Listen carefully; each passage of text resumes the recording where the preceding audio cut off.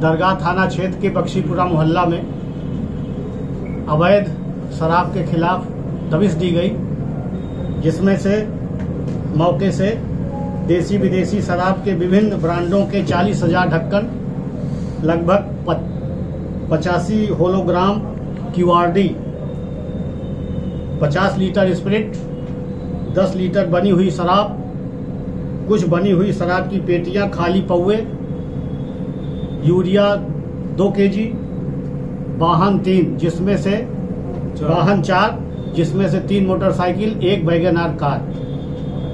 और तीन व्यक्ति मौके से गिरफ़्तार हुए हैं।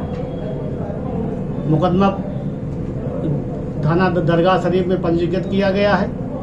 क्या ये जहरीली शराब बना रहे यूरिया और नौसादर वहाँ से पकड़ा गया है तो तो इस कयास ये लगाया जा रहा है कि शराब जो है वो जहरीली बनाई जा रही थी। बिल्कुल ये इसीलिए ये इकट्ठा किया गया है और ये पुलिस और आबकारी टीम के द्वारा बहुत समय से और बड़ी कार्रवाई की गई है और संबंधित के खिलाफ कड़ी से कड़ी कार्रवाई की जाएगी। कितनी शराब बरामद है?